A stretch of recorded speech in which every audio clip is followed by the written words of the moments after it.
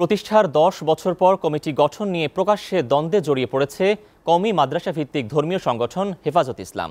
নতুন কমিটিতে জায়গা না পেয়ে নতুন নেতৃত্ব না মানার ঘোষণা দিয়ে পাল্টা কমিটি গঠনের হুমকি দিয়েছেন সংগঠনটির পদবঞ্চিতরা।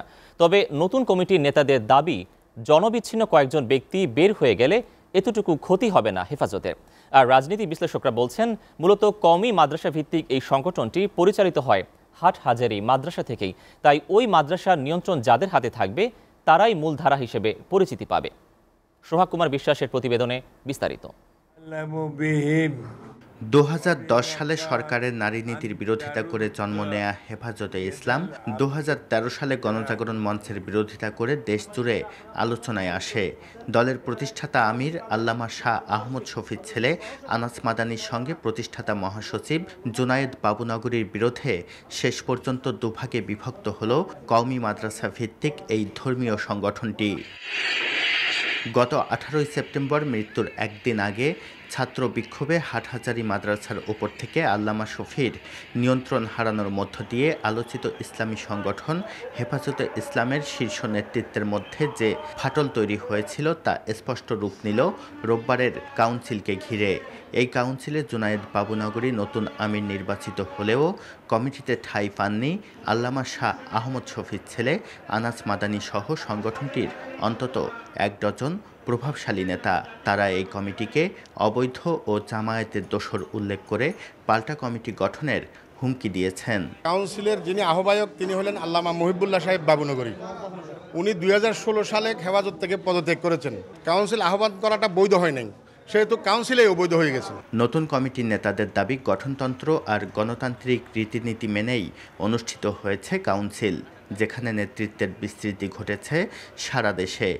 কিন্তু সংগঠন বিরোধী কার্যকলাপের জন্য নতুন কমিটিতে স্থান না পাওয়া হাতে গোনা কিছু বিতর্কিত ব্যক্তি সাধারণ কর্মীদের মাঝে বিভ্রান্তি ছড়ানোর অপচেষ্টা চালাচ্ছে। সম্মেলনের বিকল্প কেউ যদি কিছু করতে চায়, তার বিচার বিশ্লেষণ, তাদের মূল্যায়ন হেফাজতের নেতাকর্মী এবং দেশবাসী করবেন।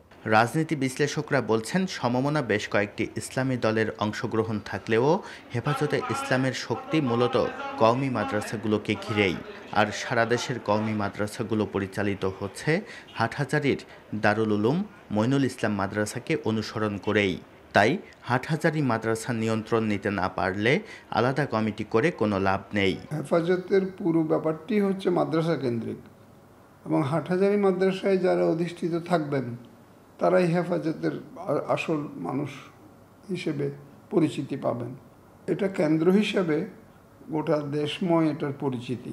এর আগে গত জুন মাসে হাটহাজারি মাদ্রাসার সহকারী পরিচালকের পদ থেকে জোনায়েদ বাবুনগরীকে সরিয়ে দেয়া হলেও মাদ্রাসাকে আঁকড়ে থেকেই তিন মাসের মাথায় ফের কর্তৃত্ব ফিরে পান তিনি।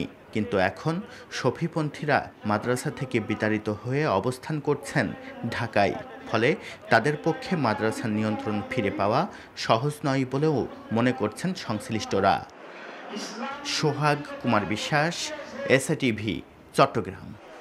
প্রিয় দর্শক, জাতীয় এবং আন্তর্জাতিক সবশেষ সংবাদ জানতে ভিজিট করুন এসএটিভির ওয়েবসাইট www.sativ.tv-তে বিনোদনমূলক অনুষ্ঠান উপভোগ করতে সাবস্ক্রাইব করুন আমাদের YouTube channel YouTube dot com slash বিডিতে যেখানে নিয়মিত কমেন্টস করে জানাতে পারেন আপনাদের মূল্যবান মতামত।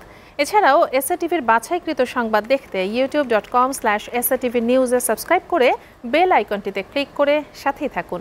প্রতি মুহূর্তে সর্বশেষ তথ্য ও বিনোদন পেতে লাইক দিয়ে যুক্ত থাকুন আমাদের Facebook page Facebook dot com slash SATV বিডিতে SATV সাথে আছি সবসময়।